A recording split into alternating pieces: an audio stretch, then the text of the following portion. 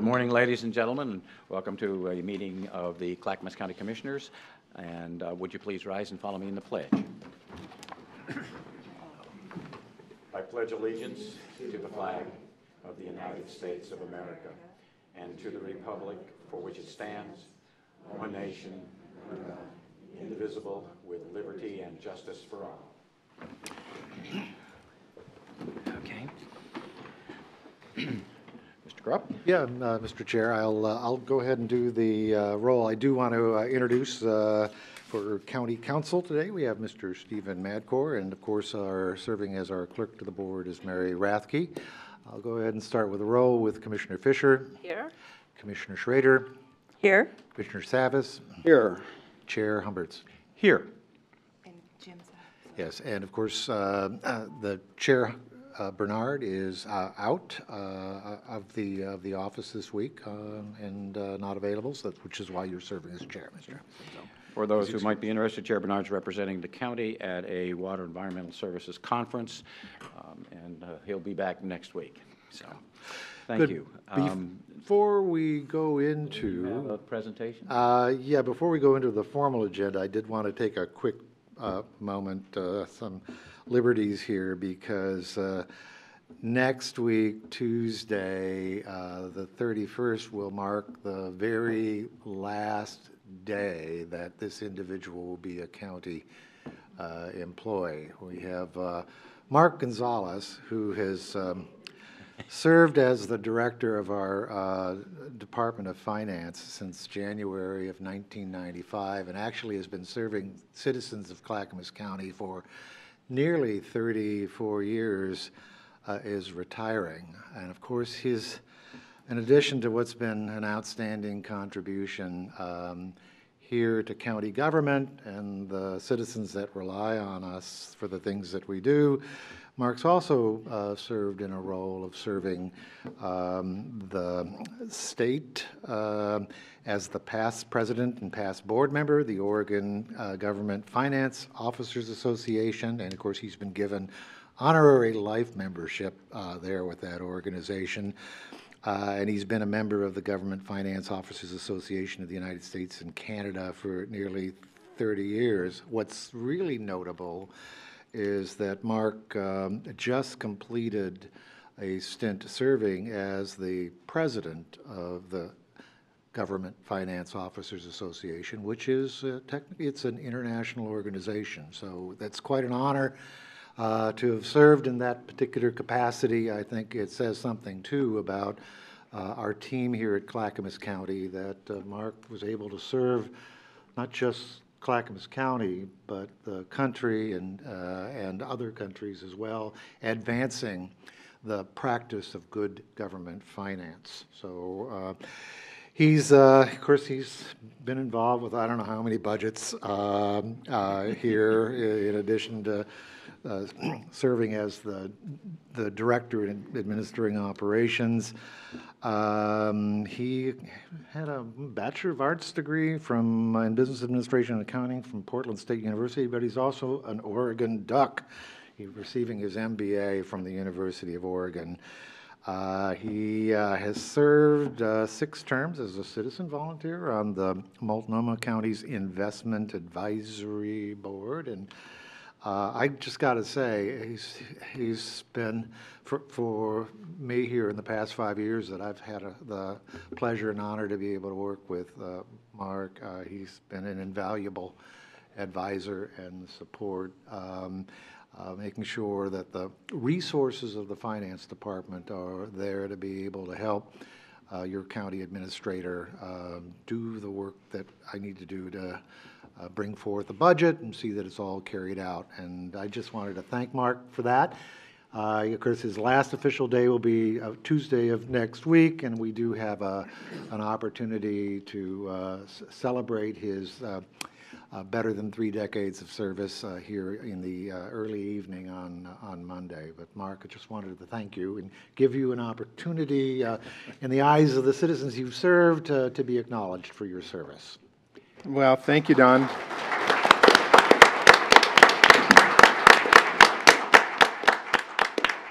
Thank you. I didn't expect to have my whole uh, curriculum vitae uh, uh, recited, but that's very nice of you to do so. Thank you. Um, It has been a long time. Uh, It does, it doesn't seem like a long time to me, but uh, uh, 33 years and nine months just kind of slipped by. And during that time, you know, Clackamas County has gone from being a relatively quiet uh, government here, out here on the south side, and uh, gotten more and more active in the region and in the state, and become more important, I think, uh, in the role that we play. Really glad to be part of that. Uh, Don is my sixth boss here. Uh, I've served with all the, uh, all the, the uh, county administrators that the county has ever had, so um, seen a lot of changes. Life has offered me a lot of opportunities here. Um, I think right now we're in a period of really great new energy for the county and moving forward with a lot of a lot of ideas and a lot of uh, programs. So um, to leave at this point, it feels like I'm kind of on top of a wave, which has been great. So I thank you. I, I did bring some uh, notes that I wanted to make a few remarks, and I hope that this won't take more than half an hour. Uh, Actually, this is, this is something, one of the things that happens when you uh, leave after a long career, if you have an office, if you're lucky enough to have an office, which I've had for many years, you have a lot of stuff in your office, and so uh, you start going through it and getting rid of it. And I'm, I uh, found this item, uh, just in case the idea of uh, annexing the city of Gresham ever comes up again, I have a full fiscal study from 1998. Yes, uh, yeah, I thought you might be able to use it. It's, uh, it's incredible, some of the things that have happened and some of the changes that have happened. I've seen a lot of it go by, so it's been my pleasure to be here. Thank you. Thank all of you. Mark, I would like to say, as one of the new guys uh, on the block here, that um, anytime I have called your office, both you and your staff have been extraordinarily helpful. Um, As folks that have only been here a year and a half, we have a lot to learn, and um, the, the support that we've received from you and your staff is very much appreciated, so thank you so much. Yeah, thank you. Thank you. I'm very lucky to have a great staff. Uh, Mark, I'd just like to echo um, uh, Commissioner Humberston's points there and um, say thank you for your service. And I do have one curious question on the Gresham thing. That was initiated really, that they were seeking to leave Multnomah County, is that correct? Yes, leave Multnomah County and be annexed by Clackamas County and just join our wonderful world. So uh, that didn't come to pass, as you are aware. Yeah, I lived in Gresham at the time, so I remember that very clearly. I I wouldn't mind seeing the study, and I'm happy to meet with Mayor Bemis to see what, uh, But you can work out. Well, oddly enough, the first uh, person from Oregon who was the president of the GFOA, Bonnie Kraft, wa- uh, served as uh, city manager at the time. And um, I I have the honor of following f- her and four other Oregonians in that role. So that's, uh, that was a great, great run for Clackamas County and and for Oregon. So, Thank you. Well, if there's no other comments, I think one more round of applause is due you.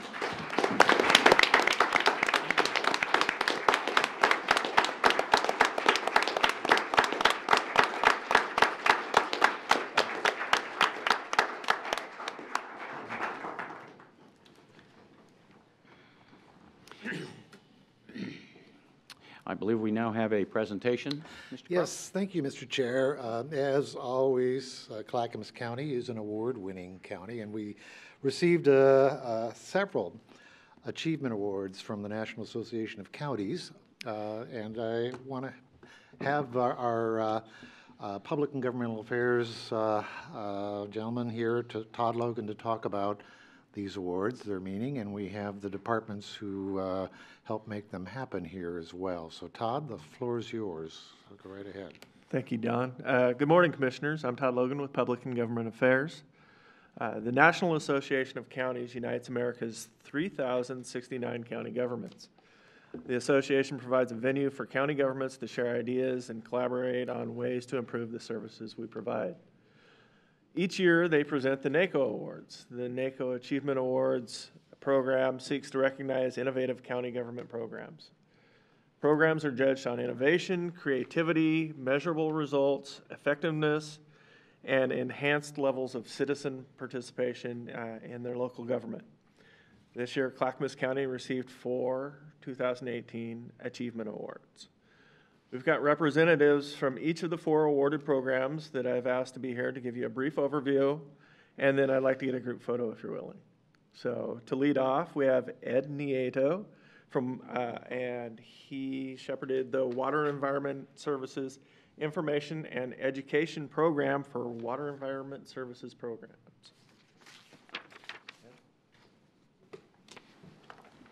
Good morning, Commissioners, Administrator. Uh, Thank you so much for allowing us to share with you some of the details about these campaigns. If I may, I'd like to extend a Clackamas County welcome to my uh, mother and stepfather who are visiting from Nevada today. They're here with us in the audience. Sitting in the front row. Welcome.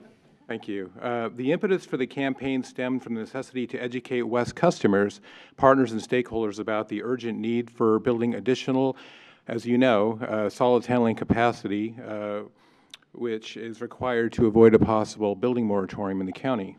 In late 2015, WES commissioned a survey to gauge customer awareness of WES, its mission, its priority products, projects, excuse me.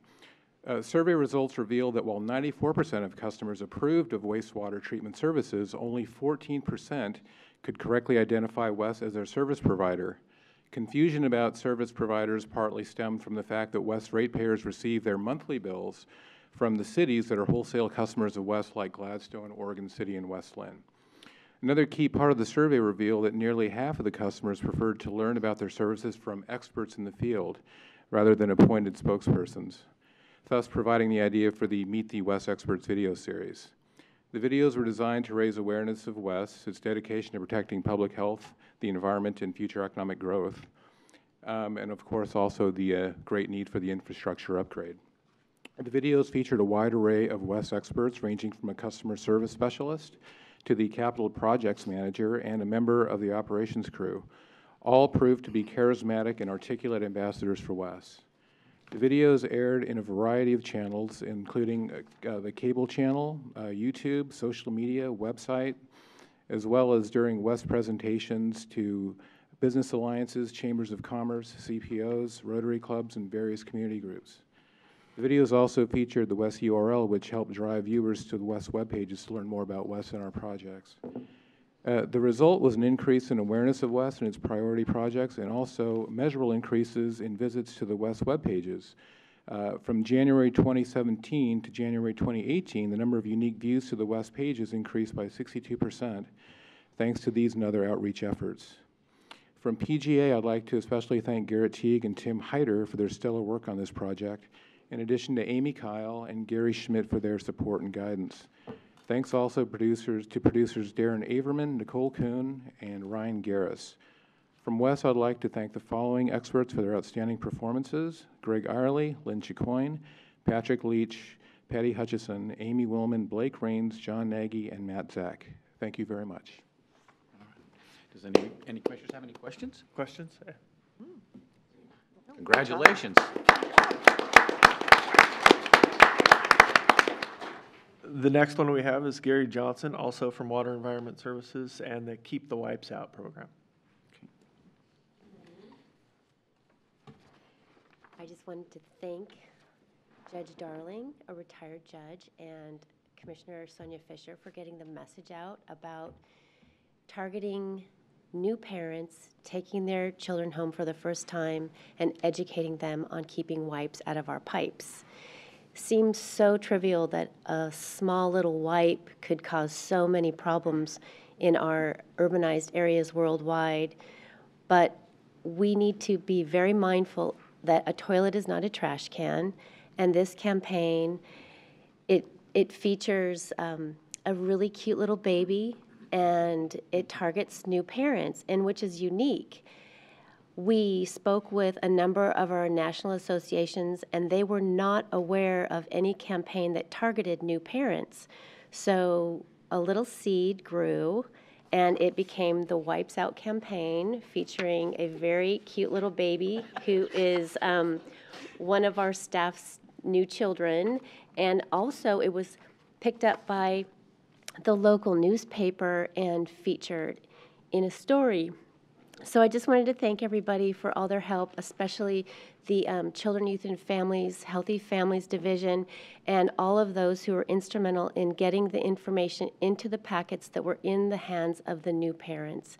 And all of the, all, all of our jurisdictions and WES customers who uh, put this information within their bills and got the message out to all their customers too. So thank you very much. Anybody have any questions? I have one. Have you seen a reduction? Um, we actually um, have put less effort into changing um, new the mechanical pu- pumps that have to tear up the um, the wipes.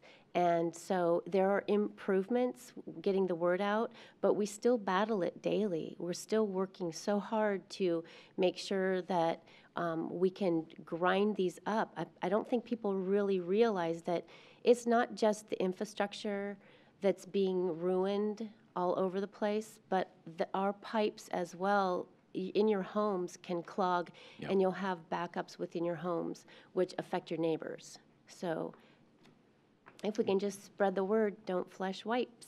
Okay, thank you. Thank you.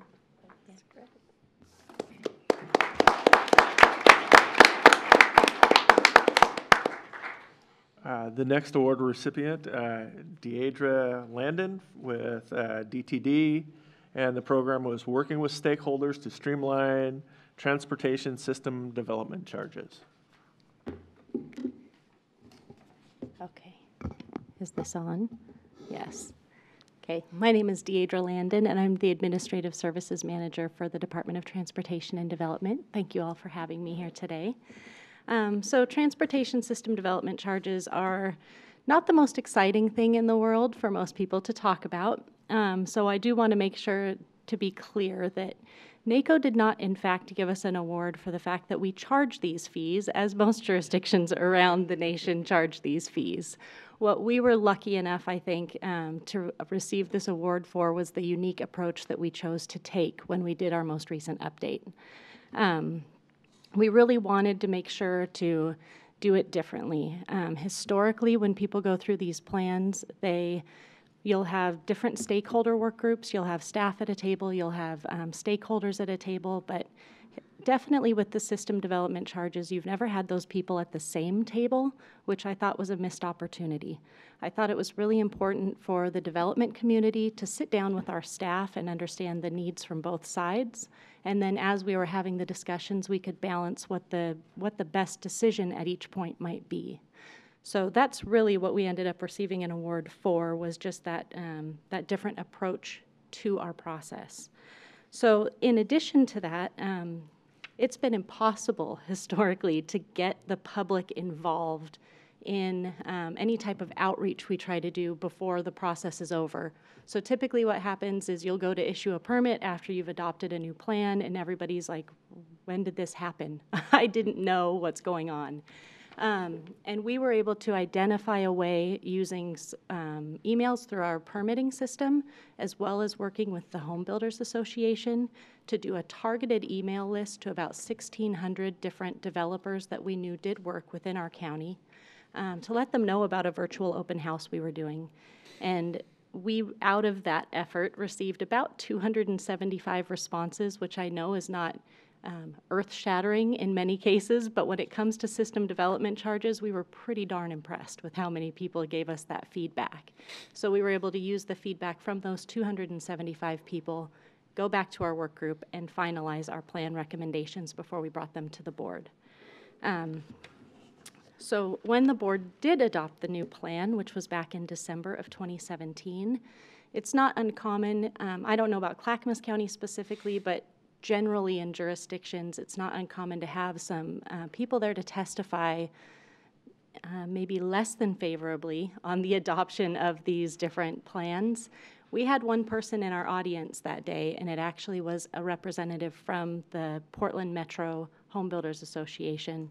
And he both testified orally and put a letter into the record to not only support the process, but suggest that other jurisdictions might also look to our process as a benchmark when they decide to do their updates in the future, which I thought was very we were very thankful for their support throughout the process, and we were very pleased that they were willing to do that as well.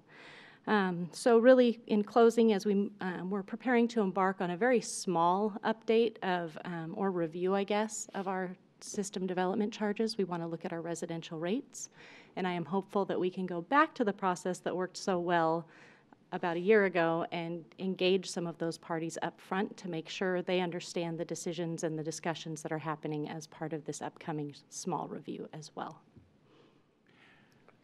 Any questions?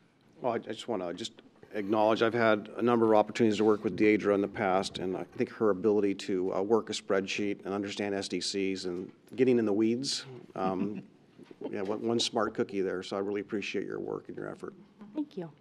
Well, I, I have to say that um, to get complimented by the Home Builders Association over the issue of SDCs, that is a heck of a hurdle to get across. And I really have to compliment you for having done that. Um, the, it, I'll just leave it at that. I just think that's remarkable. So I thank you for, for the work that you did.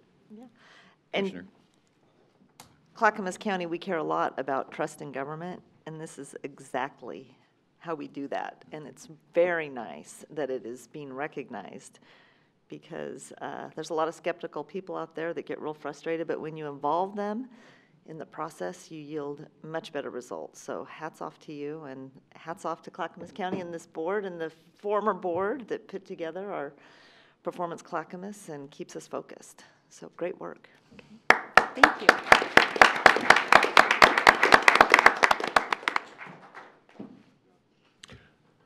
Our fourth awardee, uh, Kimberly Lippert, and from the Sheriff's Office with uh, Drive with a Cop.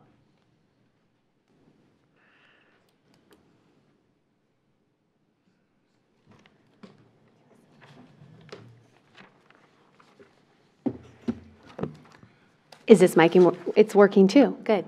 Um, I'm Kim Lippert with the Clackamas County Sheriff's Office, and I'm here today to thank everyone for uh, NACO awarding us with the Drive with a Cop Award. And I'm going to go ahead and pass it off to Sheriff Roberts. Hi, I'm uh, Sheriff Craig Roberts, and seated to my left is Elisa Krebs. And um, the NACO Award, before I get started, I just want to say that these are the two shining stars that make so many things happen at our office and want to talk about incredible work that they've done as well. But uh, Drive with a Cop, I just have to tell you, started really as a result of uh, the tragedies and fatal car crashes of our teenagers. And we could sit back and respond to those situations. But one of the things that we decided to do is try and get ahead of this. And nationally, if you look at the statistics, it's it's just terrifying to see the number of kids that die from oftentimes very simple accidents. And what we saw is the impact it was having on law enforcement, the community, and one of the things that we brought together was bringing law enforcement and teenagers together to uh, better educate our youth about driving. As a former driving instructor for law enforcement, uh, we have many of the same things we want to teach uh, our youth, which is collision avoidance, you know, emergency stopping, the things to really that can keep you alive in a, in a tragedy uh, situation responding. So uh, we first partnered with Grace Chapel out in Wilsonville. Uh, first year, we actually uh, uh, had an amazing turnout. We had to turn folks away. We finally uh, moved up to Portland International Raceway. We've partnered with um, uh, the Oregon State Sheriff's Association, who's been a huge supporter, State Farm Insurance, and Oregon Impact. And uh, as many of you know, we had a tragedy in Clackamas County. Uh, Maddie Higgins over there, it was a fatal car crash, and uh, her uh, mother and relatives have all really uh, stepped up to help support this. And uh, one of the things that they carried forward was Angel Five, and it was to remember five teenagers killed in our county. And um, she comes and speaks at the event and encourages other youth to really think about their driving because some of those actions can be life lasting. And uh, ever since we've been able to do this, we've really, uh, across Oregon, other sheriffs and chiefs have replicated the program, and I can just tell you it wouldn't have happened if it wasn't for these two young ladies that really spearheaded it, reached out to the community, and uh, made it all happen. So I want to thank these two for their incredible work. Thank you. Questions, anybody? Once again, the Sheriff's Department gets uh, acknowledged for uh, thinking ahead. So thank you very much for your work. Thank you.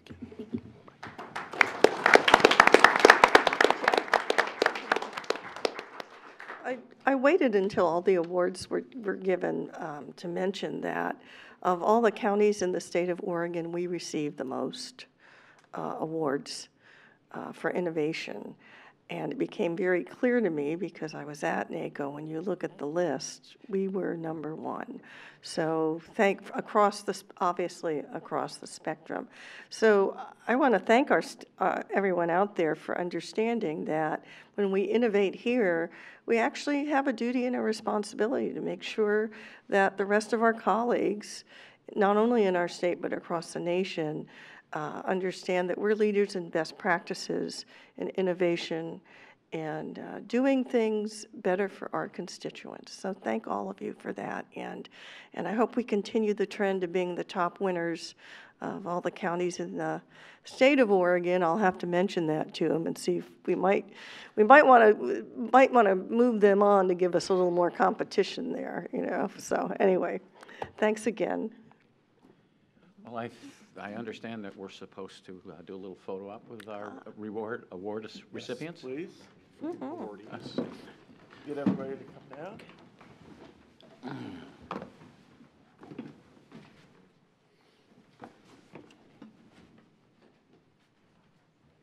If everyone wants to come forward up here with your awards.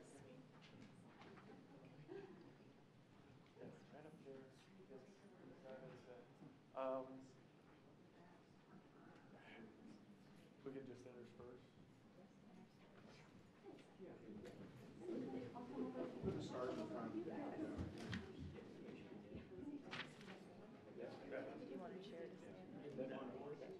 All right, everybody in there tight. Squish. Three, two, one. One more.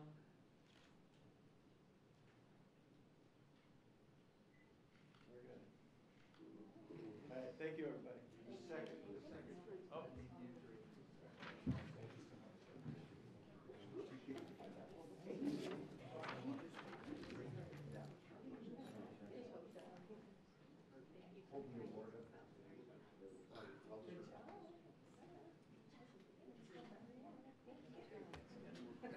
Congratulations. Congratulations. Should we have one more applause? Do it. One more applause? One more applause. How about uh, one more applause? Those folks are kind of. Yeah, good job, you guys.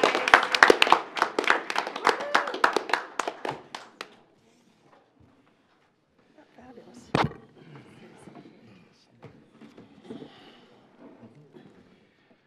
All right, thank you, Mr. Krupp.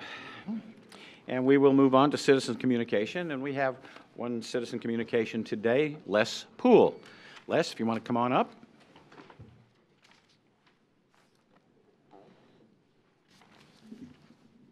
Well, good morning.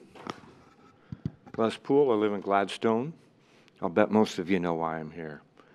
Um, and for those that don't, um, yesterday uh, there was an article that was put out by the Portland Tribune that makes it clear that myself and others are, are very, very concerned about the state's approach to tolling. I'm now a chief petitioner on a statewide measure that will require a public vote on tolling. And there's some confusion about what's going on out there. We're not here to prohibit tolling. Uh, tolling has historically been used to finance projects. Um, a good example here in Clackamas County would be uh, with growth, we may someday see a need to replace the ferry. You replace the Canby Ferry with a bridge, you're building something. You're increasing capacity. If, if, you're, if there's a toll proposed for that and the citizens see the need, they're likely to approve it.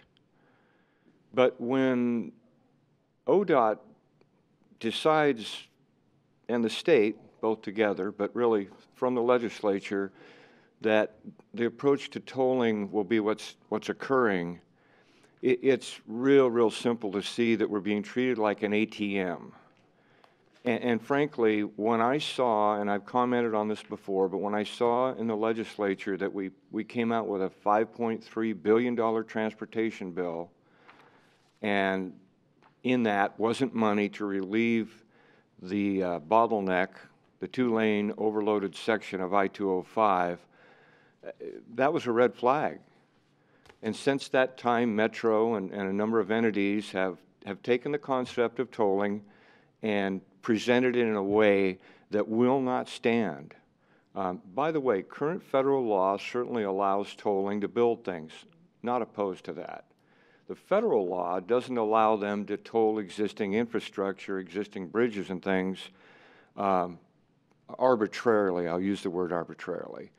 Um, also, one considers how much money would be taken from citizens' pocketbooks and how much money would be added would be added to the delivery costs for all our food and products because those tolls would be much much higher for trucks. We need to address our transportation priorities in Oregon, and I'll just conclude very simply by saying the current proposal for tolling is not the answer.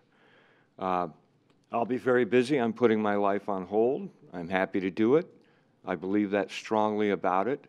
As you know, I've been involved in transportation issues with the county here. Um, I can't say as long as Mark Gonzalez, but I've been doing it for a while. So we, uh, we will be making a press release today, and I certainly will be uh, sending a letter and some things and details to the county and all the local governments uh, so that everyone understands exactly what we're doing. Uh, we'll have a web page up today. We're making some last minute changes. Folks will be able to go online and sign the petition. Um, and the good thing about this, quite frankly, is this, this is an issue that is not partisan. This is a practical issue that I think we, we, we have a tremendous agreement on. So uh, please go to the Vehicle Transportation Alliance webpage. I mean, webpage. I'm sorry, the Facebook page. That's the easiest way to take a look at the article and get up to date on what we're doing. And of course, uh, you'll be hearing from me and others in the future. Any quick questions? I don't have any. Does anybody else have any questions or comments? All right, thanks a lot. Okay, Thank you, Les. Les? That uh, concludes our citizen communication section. Uh, Our our next item is the consent agenda, and I'd ask the clerk to please read the consent agenda. Okay, today's consent agenda. Under Health, Housing, and Human Services, approval of Amendment Number One to the Professional Services Agreement with Bridges to Change for Peer Support Services. Approval of Amendment Number One to the Intergovernmental Agreement with Estacada School District for the Teen Mentor Program. Approval of an intergovernmental agreement with the City of Sandy for operations for the Mount Hood Express Bus Service. Under elected officials, approval of previous business meeting minutes. Under disaster management, approval of fiscal year 2017 emergency management performance grant revised amendment number one with the State of Oregon Office of Emergency Management. And approval of fiscal year 2017 emergency management performance grant amendment number two with the State of Oregon Office of Emergency Management. Under our Juvenile Department, approval of Amendment Number Nine to the Professional Services Contract with Parrot Creek Child and Family Services to provide shelter services for youth. Approval of Amendment Number Nine to the Professional Services Contract with Christian Community Placement Center to provide shelter services for youth. And approval of Amendment Number Nine to the Professional Services Contract with Boys and Girls Aid Society of Oregon to provide shelter services for youth. And that concludes today's consent agenda. Does anyone of the commissioners wish to remove or pull any item from the consent agenda? I see Commissioner Fischer, you have a question? Yeah, so I'm curious about number 10 for Parrot Creek. We have in our packet just Amendment 9 of, and Yes. without, out of context. I mean, I don't understand the context of what this is. So we um, uh, contract with uh, Parrot Parrot Creek to uh, provide uh, professional shelter services between the, the county juvenile department and Parrot, Parrot Creek. And this is a, a contract amendment uh, and, uh, and a renewal to continue that particular service. It's a one-time only six-month contract ex- extension to pro- provide such, uh, such care. Uh, So uh, we've had this relationship for some time. Uh, This is um, not affiliated or related to other responsibilities that the county has with respect to uh, the lease and ownership and maintenance of the site. This is simply our juvenile department contracting uh, for specific shelter services for specific uh, things the juvenile department is responsible for doing. Okay, and just a question, I've read it a few times now, and I'm just not clear exactly what it is amending. Is it amending the amount of money or the time of the contract? I, I believe it's extending the contract, uh, and the, uh, the cost of the extension is $170,000, actually, $175.70 uh, and 73 cents. So uh, the, uh, that, that's to add to what is uh, the maximum contract value up to about 1.8 million. So this is an existing contract. This would extend the uh, nature of that contract for these services, and the remuneration for that extension is $170,000 or so. Okay. that help? Okay. That does help, thank you. Good, thanks. Okay, uh, the chair will entertain a motion to approve the consent agenda. I move approval of the consent agenda. Second? It has been moved and seconded to approve the consent agenda. Any que- further questions? All those in favor say aye. Aye. Opposed? Motion carries. County Administrator update. Okay, well, I've got a couple of items of uh, good news for you. First, I wanted to share with you some uh, terrific feedback that we received regarding our weatherization program from a resident in Milwaukie. And as you uh, know, uh, this program provides uh, uh, help uh, to residents to reduce their heating and cooling costs and to help make their homes safer and more comfortable. And this is a program provided through our Health, Housing, and Human Services Department. We got a very nice communication from one of our residents stating that Clackamas County's weatherization program makes it possible for seniors to be able to afford living in their home and to age in place. They are a credit to the community. And so I just wanted to thank uh, the resident uh, for providing this feedback and uh, say great work uh, to our uh, program staff uh, for providing this excellent service. I also wanted to remind folks that the county offers monthly dental clinics. Uh, And the- these clinics provide, you know, sealants as uh, well as other dental services to uninsured and underinsured individuals and families in our community. Uh, We uh, hold these events at our Beaver Creek and uh, Sunnyside Health Clinics, uh, and they are primarily utilized by parents who um, don't want their kids to miss school. So I wanted to mention that our staff performs a, a lot of work around in these clinics to help to provide what is a fun and inviting uh, atmosphere for these kids. Our next uh, Saturday uh, dental uh, event, uh, we've got two of them programmed in August, one for um, August the 4th at uh, Beaver Creek, and the other at uh, the Sunnyside Clinic on August the 25th. And residents who are interested can call uh, 503-655-8471 to make an appointment. And then I also wanted to uh, let you know that over the past couple of days, I have participated in uh, interview processes for uh, the consideration of candidates uh, for what would be the first regional director for the uh, Extension Services uh, Metro uh, region. Uh, Commissioners received a, a, uh, a presentation a couple of weeks ago from uh, the Oregon State University uh, Extension Service about a reorganization of the regional approach, and in this case in, involving Multnomah, Washington, and Clackamas counties, and uh, creating a, uh, they would create a region that would include those three counties, and uh, they would have a uh, director hired. So this was the interview process for the individual who may serve as the first Metro Region Director under this new organization. I can say uh, that uh, they had four great candidates that met with the Extension Service staff Uh, And I was pleased to be able to sit in uh, on that and get to know each of the candidates uh, that are being considered for that. I will say one other thing that's um, pretty apparent. I, uh, that the services that uh, the extension uh, provides here in Clackamas County um, are unique and, you know, ab- ab- above the fold, really.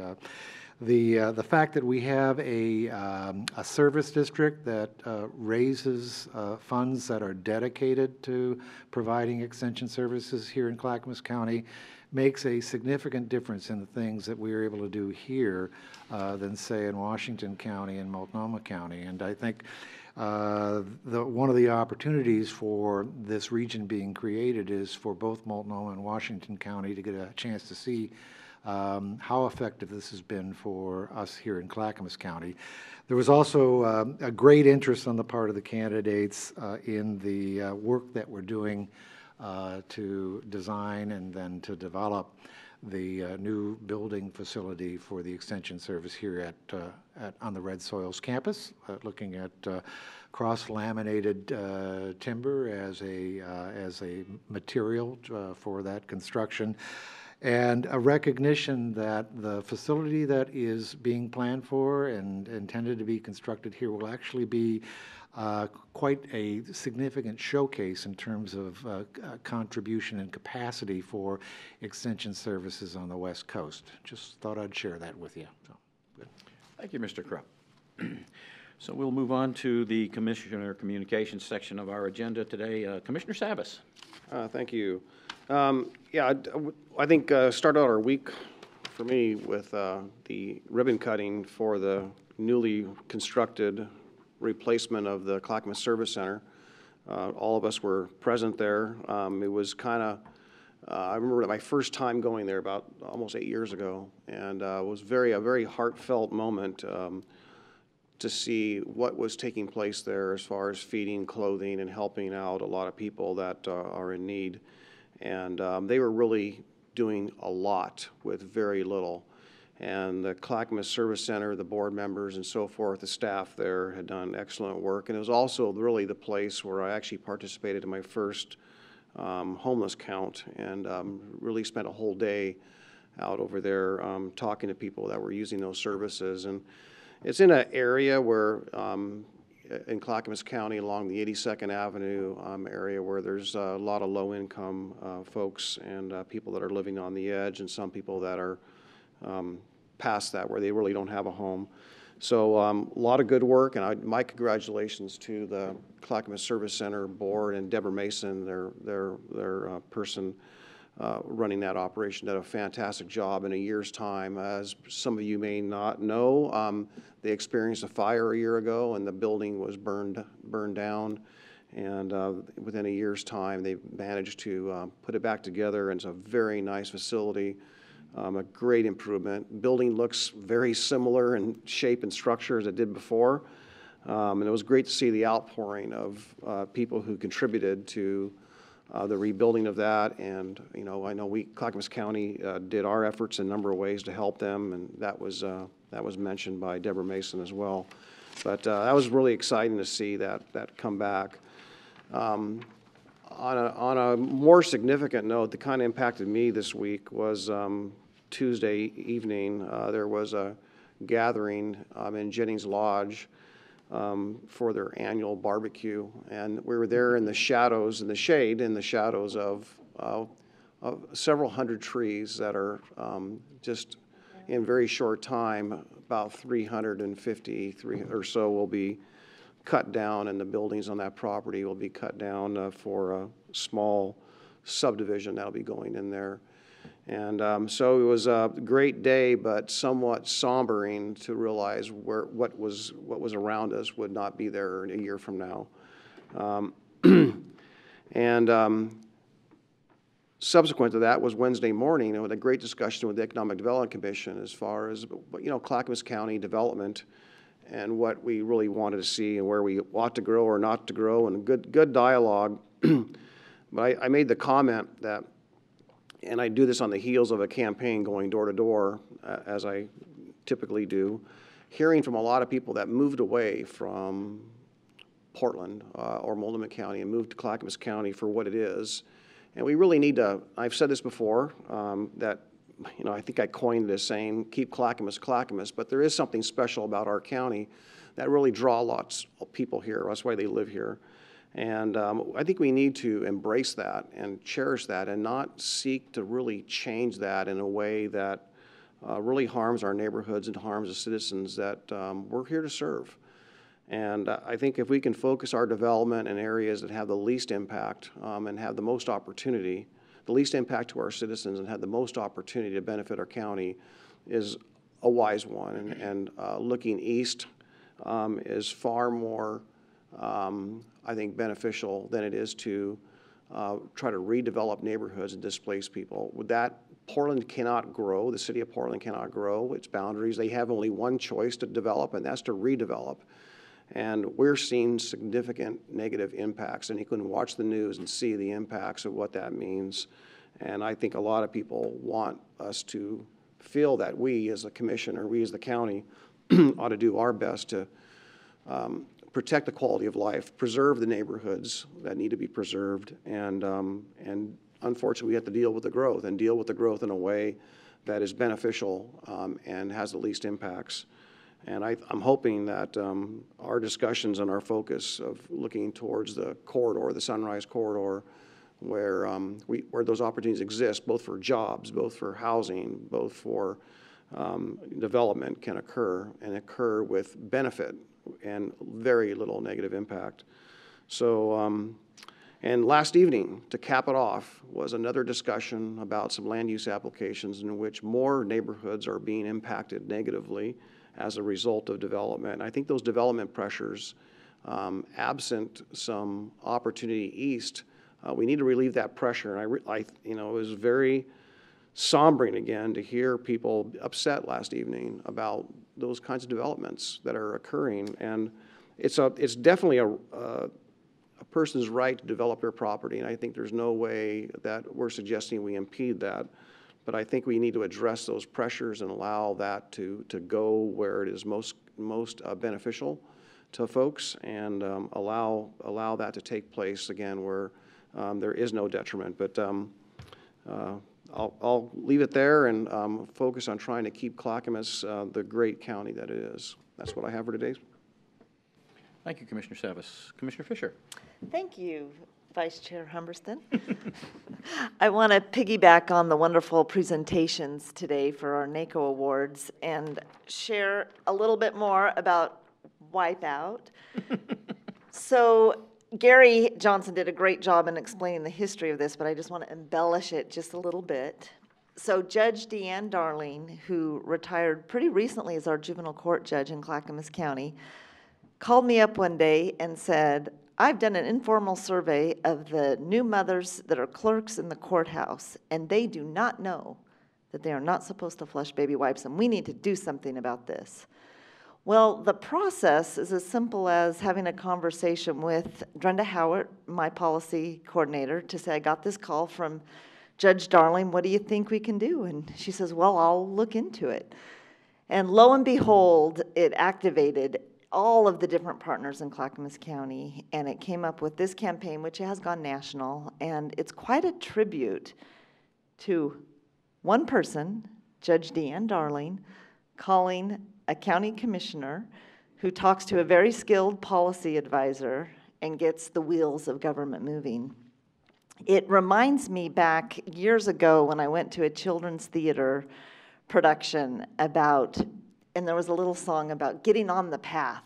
You need to get on the path. And it was all these little examples for children about what they can do to help promote good practices. And a lot of it had to do with, you know, turning off the water when you're when you're in the middle of brushing your teeth and making sure that you throw things, you don't use things unnecessarily.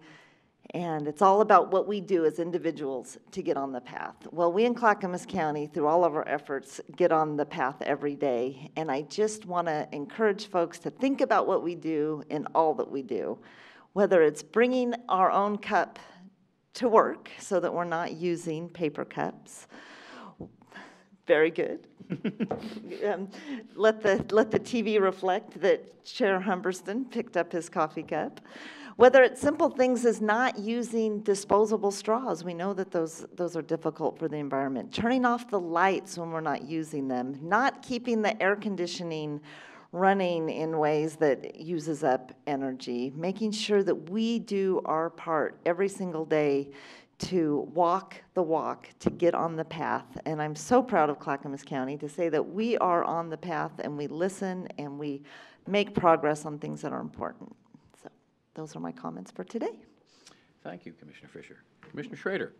Great. Well, to, to, uh, to, to, to mention Commissioner Fischer again, uh, uh, she knows that we are, we're dusting off our sustainability initiative in the county, and we have been um, a leader in actually building, if not the first, one of the first green campuses here in the United States, because, but our buildings are, are, I think, LEED certified, I believe silver, maybe gold. I'd have to check the, I'd, I'd have to check the side of the building to see what level we're certified to, and that we are committed that as we expand this campus with the uh, new courthouse, hopefully, uh, in the future, that we will follow uh, similar, uh, a similar pathway and, and hopefully even be using things like cross-laminated timber, and also as we move forward with our extension service to do a new building again, do it in a green,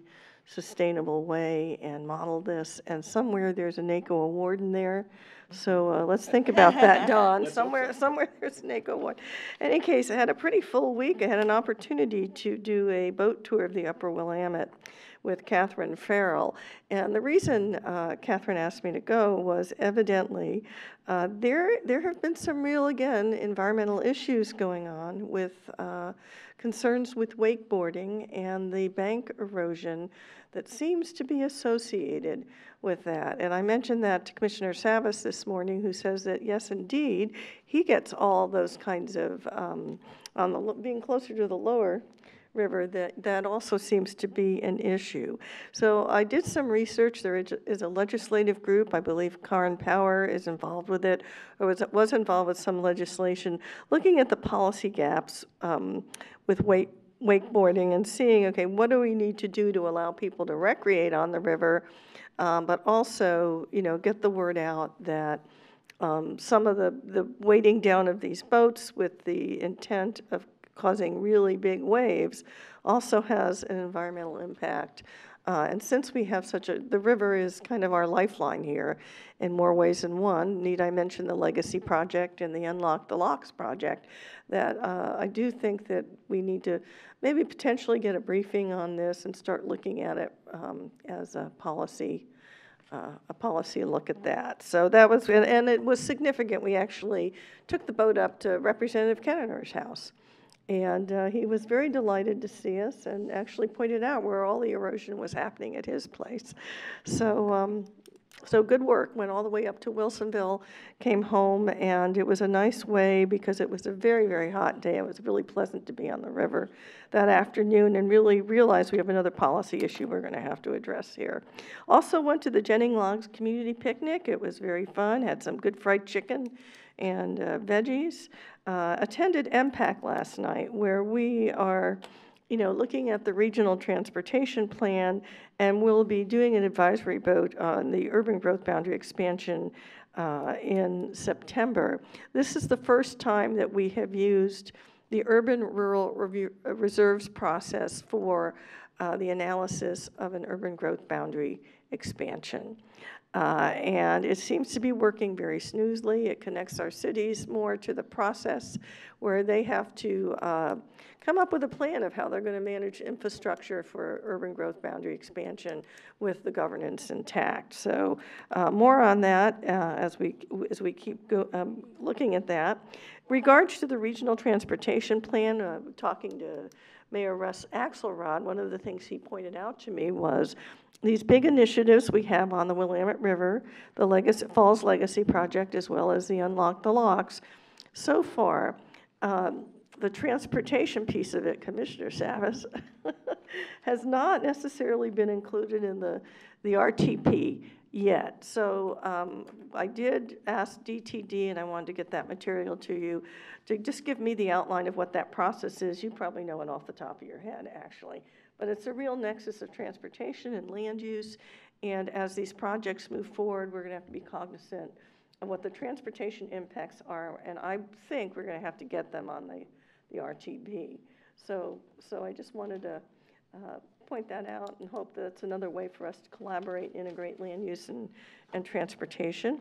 Went to the Clackamas Service Center. It was wonderful to see them have their new uh, their new uh, facility there that will help people. I'm actually having uh, lunch with Jane Leo tomorrow, and the reason I'm having lunch with her is she is very interested in housing, and she's uh, the executive director of the Portland Metropolitan Association of Realtors. And she is very interested in helping students who are homeless find housing and she wanted to talk to me about a model that they've worked on in Tacoma, Washington. So I will bring that back to the board.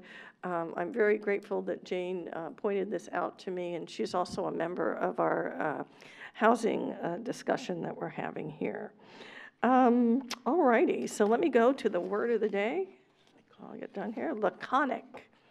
It's an adjective of few words. Did you know? Speech that is concise or terse is laconic. Sally gave a laconic speech about the successes of the library. Okay, arts and culture. Willamette Falls Heritage Area Coalition presents Music of the Oregon Trail with the Trail Band. The Willamette Falls Heritage Area Coalition, in partnership with the End of the Oregon Trail Interpretive Center and the Oregon City Parks and Recreation Department, will present a free outdoor concert by the Trail Band. Food and beverages will be available for purchase from on-site food cart vendors, excuse me. In addition, a beverage station selling beer, wine, soda, and water will be on site. That's this Friday, July 27th, 6:30 p.m. at the end of the Oregon Trail Interpretive Center in Oregon City. West Linn Historical Society presents History on Fire Ignite Talk. These rapid and engaging five minute presentations will share images and stories about local and regional history in the Ignite Talk format. Sunday, July 29th, 4 p.m. at the Willamette Ale and Cider House in West Linn. And to get more information, you can always go to clackamasartsalliance.org. Thank you, Commissioner Schrader. Well, I had the opportunity to enjoy some of the same events that my colleagues did this week, so I won't repeat them. Uh, I do want to address uh, comments I made last week when we had the discussion regarding night meetings to make sure that what I said was not taken out of context. Um, I had commented that I do a lot of going out to CPOs and other organizations and meetings and events and things where I get the opportunity to meet and listen to, to um, uh, our, our, citizens about issues that are important to them and share what we're doing with them. That was in no way intended to say that we shouldn't have night meetings in one format or another. I do currently support the, the board's position on the, the quarterly meetings um, and, and want to see how that's going to work for us. Um, but I also understand that some folks come here at those night meetings so they can speak to the camera, so that the audience that's out there on that camera also hear their message. So it was in no way intended to say that folks shouldn't be able to come here, whether it's day or night, and, um, and present their message both to us and to the community at large. That said, um, I had the pleasure of going to the North Willamette Research and Extension Center um, open house yesterday, and just to talk a little bit about some of the things they do. In our region, we have over 240 plus um, crops that we grow and market both um, locally and uh, internationally and everywhere in between. The um, North Willamette Research and Extension Center from Oregon State University does an incredible amount of research on everything from various and sundry flowers that will attract bees, the different species of bees that are available in the area to pollinate our food, uh, they do hybridization of, of, a variety of different crops, especially food crops, that uh, increases yield without necessarily having to use a lot of chemicals to do so. Uh, and they work on finding uh, solutions to invasive species, both insect and plant. Um, About 13% of our land in Clackamas County is actually available for, for um, agriculture. And so it's, what they do is very important to make sure that we do have a uh, healthy local food source. One of their new programs is called the Beeve Drone Program, Better Than the Eye Aerial View Field Scouting for Plant Health Protection. What that is, is using drones and special cameras that do multispectral digital imagery. They fly over the fields, and though th- that multispectral imagery can, then tell them the health of the plants, whether the, whether the crops are uh, stressed from lack of water or other problems, and that allows them to not only do it more quickly, uh, but more targetedly, and then they're able to uh, address whatever the stresses are on the plants, once again, increasing yield in a really uh, positive way. Um, the other two items, we've, we continue to work on the Cross Laminated Timber Initiative and the ISP Initiative, and staff are continuing to work um, to develop those initiatives and prepare information for uh, my colleagues as we move forward. Uh, The last thing I have today, so that Mary doesn't have to tell me and remind me, is the dog. This is Rocky. He is a fine-looking fellow with a goofy disposition. He can walk on a leash. He enjoys playing outside and loves to learn new things. He's eager to please and wants to spend time with human friends. He's a Cocker Spaniel, so his coat will need consistent grooming, and daily exercise will keep his mind and body healthy. We encourage you to meet him for a play date to get to know him. For more, more information about Rocky and other adoptable dogs, please contact the Clackamas County Dog Services at 503 655 8628 or www.clackamas.us forward slash dogs. And that's all I have for today. If there, no one has anything else, we stand adjourned.